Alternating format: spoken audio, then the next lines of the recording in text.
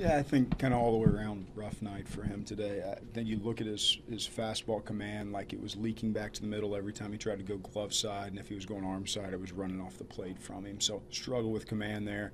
And he went to a couple changeups early in the game that we kind of tried to keep him away from. Uh, and at the end, he just like didn't have his velocity in life. I, I, think most days he's pitching 94 to 98. I think at the end of the game he's throwing 90 to 92 mile an hour fastballs today. So uh, might be fatigue, might be the grind, uh, but just at the end of the day, didn't really have it. Is that a game where a young guy has an opportunity to try to fix it on his own in the course of the, uh, the contest? Was he trying to do that? Did you see any progress as he was going along? There's definitely work there. He's trying. He's giving everything he's got out there. He's just like one of those days where he can't seem to put it together. Uh, there's plenty of conversations in between innings trying to like will him back onto the right path and get him moving again. Uh, just struggle with his fastball more than anything else, and without the life to the fastball, uh, the slider didn't do enough.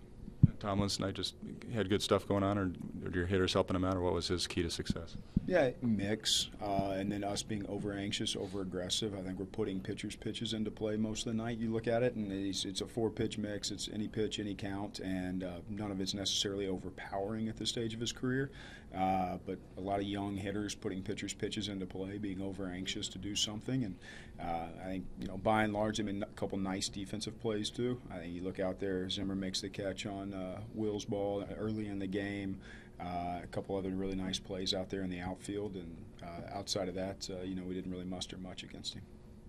Your, your defense committed three errors. Like, could have been a couple other plays made. How would you assess quality there efforts tonight? I, I, think all the way around, it was not a good effort from our club tonight. Uh, you know, I think the first effort uh, the first error for us, uh, the ground ball to Lamet, like that's just control yourself, pick the ball up, and like get the out of first base. He took a really aggressive swipe through it, like he was trying to pick a ball for as a first baseman. Now he's incredibly young on a major league mound.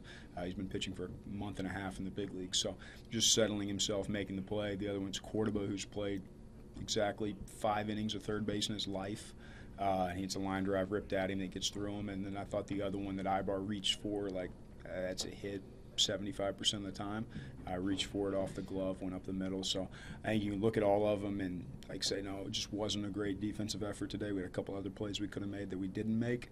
Uh, but in Lamet's case, Cordoba's case, uh, I think your youth compounds it a little bit.